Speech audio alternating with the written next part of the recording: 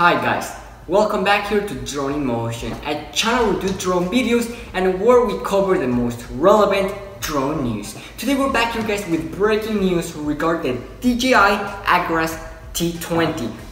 We have some really, really promising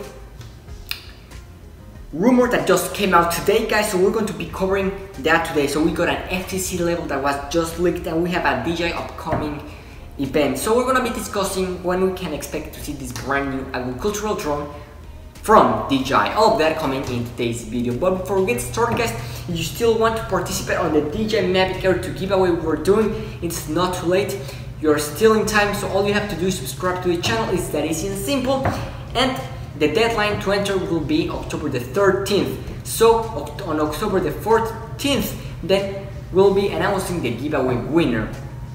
So best of luck to all you guys. Thank you for all of your recent support. And with that being said, let's get started with today's video. So today's news are coming from DealsDrone, and we got a, a tweet, a really promising tweet that said new T20 with a question mark, and then we had an FCC label that came alongside with it. So I'm gonna leave that tweet right here on the screen.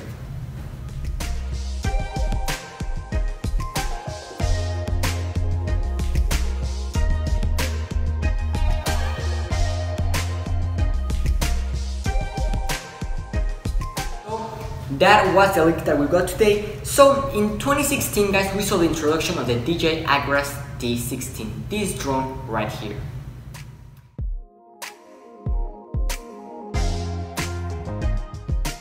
And then in November of last year, we saw the introduction of the DJI T20, this drone right here.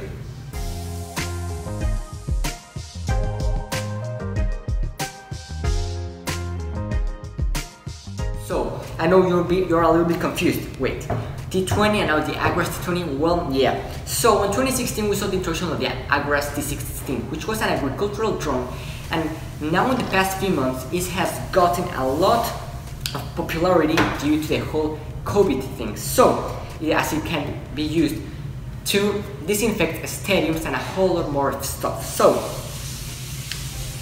T20 released last year, and then this year, it looks like we might be getting a new Agras T20 guys. According to this tweet from DealsDrone, we have that FCC label that confirms our theory. And also, a couple weeks back, we got a tweet from Osita LB which said that there will be a new agricultural drone before the end of this year. So we made a video covering Osita's LB tweet. So, we, it will be very likely that we'll see a DJI Agras T20 before the end of this year and we know there's a DJI event coming up on October the 14th. Will we will we be seeing the Agras T20 by then in this event? I don't think so, because this event is focused more towards mapping and surveying solutions, not towards agricultural stuff. So I think this drone will be presented on a different date, but I think there's a pretty high possibilities we will be seeing this drone before the end of this year and then we have confirmation from a CLB. So I think this will be very likely, guys. That's all information we have at the moment. So make sure you subscribe to the channel to keep you so you are updated on the latest news. Thank you for watching and see you in our next video.